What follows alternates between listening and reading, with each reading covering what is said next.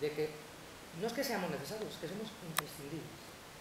Somos imprescindibles, porque somos los únicos que podemos cambiar un poco lo que hay. En mi opinión, el Partido Socialista en un gobierno y el Partido Popular en el otro están haciendo exactamente lo mismo.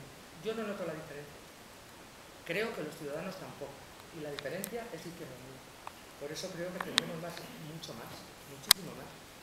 Voy a ser alcaldesa.